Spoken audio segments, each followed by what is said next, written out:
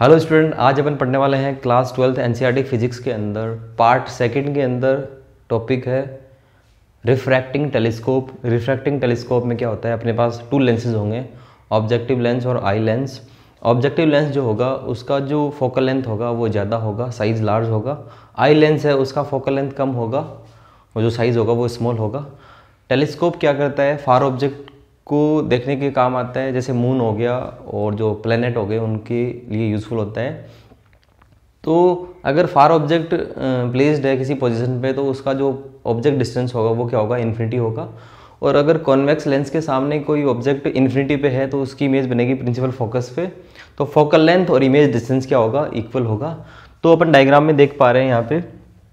अगर object infinity पे है यहाँ पे अपने पास तो उसकी जो इमेज बनेगी वो प्रिंसिपल फोकस पे बनेगी। स्टूडेंट ये प्रिंसिपल फोकस ही है। अगर ये रेज एकदम पैडलर हो जाएँगी तो ये जो कन्वर्जिंग पॉइंट है, ये ऊपर शिफ्ट हो जाएगा। तो ये रेज यहाँ पे कन्वर्ज होंगी, इस पॉइंट पे। ये प्रिंसिपल फोकस है और यहाँ से लेके यहाँ तक की जो डिस्टेंस होगी, उसको बोलते हैं फोकल लेंथ और यहाँ पे इमेज डिस्टेंस और फोकल लेंथ क्या होंगे? इक्वल होंगे। लेंस फॉर्मूला से आप फाइंड कर सकते हो। अगर ऑब्जेक्ट डिस्टेंस इन्फिनिटी है तो फोकल लेंथ और इमेज डिस्टेंस क्या होगा? इक्वल होगा। तो एफ़ नोट का मतलब है focal length of objective lens V naught का मतलब है image distance of objective lens यहाँ पे एफ़ ई का मतलब है focal length of eye lens और यू ई का मतलब है object distance for eye lens अब स्टूडेंट जो पहले जो इमेज बनेगी, वो यहाँ पे बनेगी, उसकी हाइट अपन ने एच ले ली। अब एच ये जो इमेज है, इस आई लेंस के लिए क्या हो जाएगा? ऑब्जेक्ट हो जाएगा। अब आपको डायग्राम कैसे ड्रॉ करना है? ऑब्जेक्टिव लेंस थोड़ा लार्ज बनाना है और आई लेंस छोटा बनाना है, स्मॉल बनाना है। ये रे आपको थोड़ा सा अल्फ़ा एंगल कम लेना है लेस लेना है, क्योंकि अगर आप ज़्यादा ले लोगे तो ये रे नीचे से जाएगी और यहाँ पे रिफ्रैक्शन होगा ही नहीं। तो बच्चों, ध्यान में ये रखना है आपको कि अल्फ़ा की वैल्यू कम लेनी है। पहले ऑप्टिकल सेंटर से पास करो रे। अगर ऑप्टिकल सेंटर से पास करेंगे तो रिफ्रैक्शन होगा ही नहीं एज इट इज़ सीधी की सीधी चली जाएगी। उसके बाद आप ये रे यहाँ से पहले मत बनाओ। अगर आप ये कन्वर्जन यहाँ पे करवा रहे हो और अगर आप ये रेज यहाँ पे कन्वर्ज करवाते हो तो इमेज प्रॉपर नहीं बनेगी। तो आप पहले ये वाली रे ड्रॉ करो यहाँ से। यहाँ से लेके जाओ। ओके फिर आपको अगर यहाँ पे इमेज बन रही है तो ये जो फाइनल इमेज है, ये प्रॉपर बन जाएगी। लेकिन अगर किसी बच्चे ने यहाँ पे ये रे गलत बना दी, अगर आपने ये रे यहाँ से कन्वर्ज नहीं करवाई, यहाँ पे कन्वर्ज करवाते हो तो यहाँ पे इमेज कैसे बनाओगे आप इधर? तो स्टूडेंट इस बात का ध्यान रखना है। आपको ये वाली रे पहले तो ऑप्टिकल सेंटर से पास करो, उसके बाद एल्फा एंगल आपको कम लेना है लेस लेना है ऑब्जेक्ट वाला एंगल है। उसके बाद यहाँ पे रेज आपको कन्वर्ज करवानी है तो आप यहाँ से स्टार्ट करो पहले। अगर आप यहाँ से स्टार्ट करते हो सपोज़ दैट ये रे आप ऐसे बनाते हो तो ये कन्वर्ज होगी नहीं। अगर आप यहाँ से बनाते हो तो ये रे कन्वर्ज नहीं होगी। तो आप यहाँ से इसको पीछे बना के लेके जाओ। अब ये थोड़ा सा यहाँ पे रिफ्रैक्शन होगा। ये रे और ये रे बिल्कुल स्ट्रेट नहीं है बच्चों।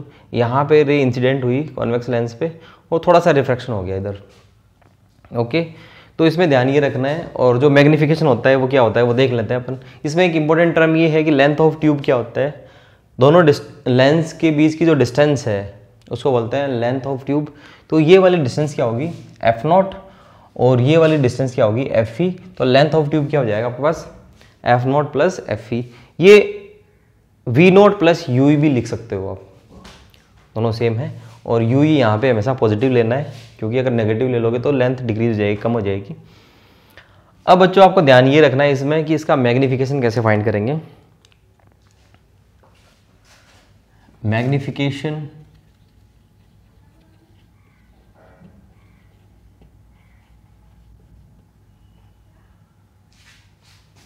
of refracting telescope. Okay? अब बच्चों, इसमें इम्पोर्टेंट टर्म ये है कि आपको ये ऑप्टिकल सेंटर से जो रे बनानी है, ये अल्फ़ा एंगल कम लेना है ताकि ये प्रॉपर इसे इंसर्ट हो जाए रिफ्रैक्ट हो जाए। और अगर आपने अल्फ़ा एंगल ज़्यादा ले लिया तो लेंस के नीचे से निकल जाएगी रे और रिफ्रैक्शन होगा ही नहीं डायग्राम पूरा क्या हो जाएगा, गलत हो जाएगा। लेंथ ऑफ़ ट्यूब अपन देख लिया F naught plus F E इस पर न्यूमेरिकल आते हैं बोर्ड में C B S E board में स्टेट बोर्ड में। आगे का जो टॉपिक है, वो पढ़ेंगे अपन मैग्निफिकेशन ऑफ़ रिफ्रैक्टिंग टेलीस्कोप तो बच्चों, अपन को करना क्या है इसमें? M equal to angle form by final image on eye upon angle form by object tan beta upon tan alpha इसको एंगुलर मैग्निफिकेशन भी बोलते हैं।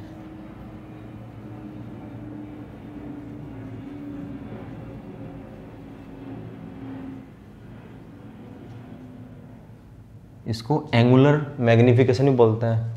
इसको मैग्नीफाइंग पावर भी बोलते हैं। मैग्नीफाइंग पावर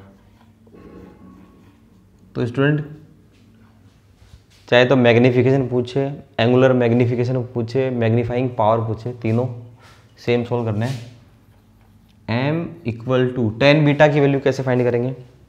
यहाँ पे देखो बीटा कौन सा एंगल है? फाइनल इमेज वाला जो एंगल बन रहा है ऑन आई उसको बीटा बोलेंगे। तो यहाँ पे बीटा के सामने वाला जो साइड है, वो क्या है? परपेंडिकुलर एच और इसका जो बेस होगा, वो क्या होगा बच्चों?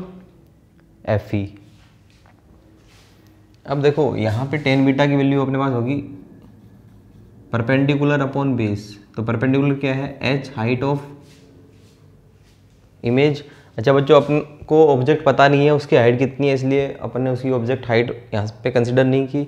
इमेज हाइट अपन ने यहाँ पे एच मानी है. वैसे अपन को एच डेस कंसिडर करना चाहिए था, लेकिन अपन ने ऑब्जेक्ट हाइट यहाँ पे देखी नहीं है तो इमेज हाइट अपन ने एच ली है यहाँ पे. एच अपॉन और इसका बेस क्या है बच्चों इधर? F E same tan alpha angle form by object तो टेन अल्फ़ा इधर, ये अगर थर्टी डिग्री है तो ये भी थर्टी डिग्री होगा। तो इसके सामने वाली साइड क्या होगी? एच और इसका बेस ये होगा, बच्चों इधर। ये मान लो ए है, और ये मान लो बी है। तो इसका बेस क्या हो जाएगा? ओ ए और परपेंडिकुलर क्या हो जाएगा? ए बी तो ए बी अपॉन ओ ए ये आंसर आएगा, बच्चों एच अपॉन एफ़ नॉट यहाँ पे अगर टेन बीटा अपन ट्रैंगल के अकॉर्डिंग देखें तो आंसर आएगा A B upon